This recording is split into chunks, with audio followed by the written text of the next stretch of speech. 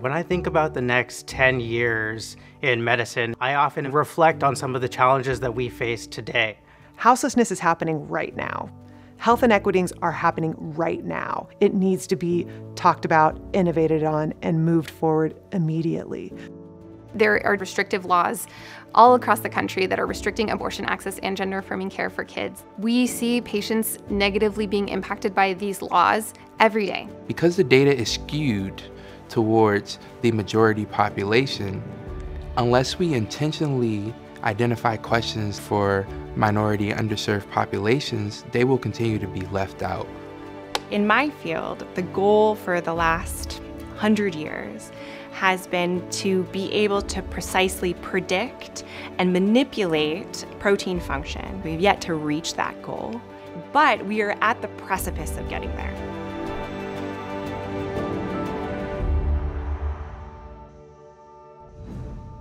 I'm extremely excited about using new and innovative technologies to be able to understand the biases within the data that we're training our models on. We have generative AI, we have large language models. We're able to dissect this data and optimize the care for minority underserved populations. I'm a fourth year medical student in the San Joaquin Valley Prime program.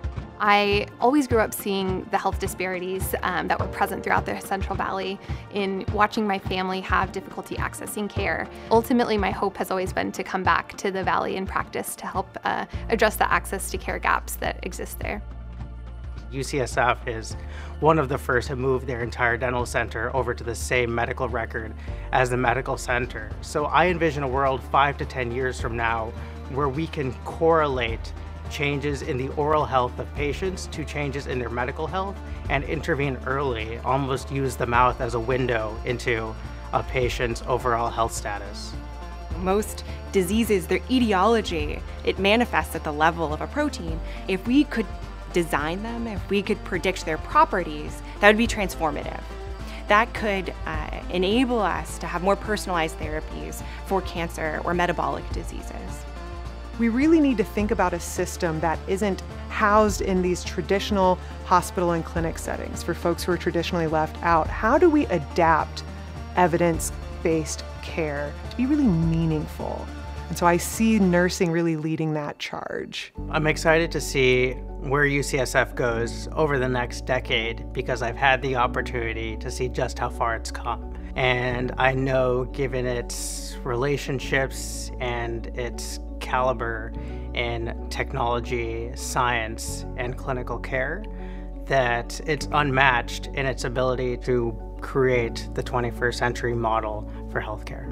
My lab is at this intersection between multiple technological developments. The rapid expansion of machine learning uh, combined with our high throughput data now we can collect more data about a single protein uh, in one experiment than people had collected over the entire course of, of scientific history. We are well into a genomic revolution. There's always innovation happening all over in medicine. And particularly for OBGYN, I think education is at the key of so much of this. Not only educating our providers to be inclusive caregivers in the future, but also educating our patients about what treatments are available to them and where they can access those. The writing's on the wall. There's going to be other environmental crises, health crises. There is an urgency, and I'm just going to keep heading toward it. I want to create a world that is safe and provides adequate care for all patients, regardless of their race, regardless of their ethnicity, regardless of their social determinants of health. I want to create a world where gender affirming care is accessible to all. Where policy and technology come together to advance health worldwide. Where the experiments that used to take a century now take a day. Where innovations in health science are applied to communities that have been missing out historically. It is our duty to continue this work.